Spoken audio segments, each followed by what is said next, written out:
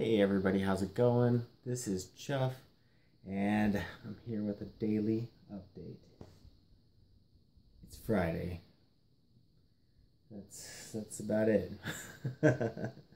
so yeah, really glad it's Friday. Seems like it's kind of been a long week.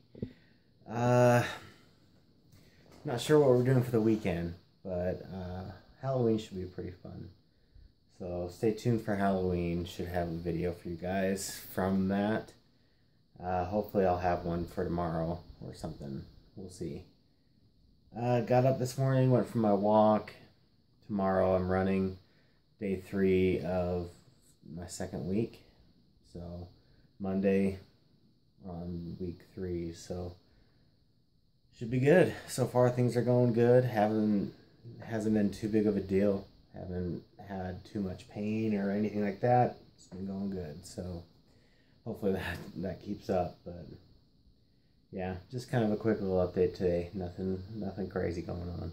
But I will see you guys tomorrow. Have a good one.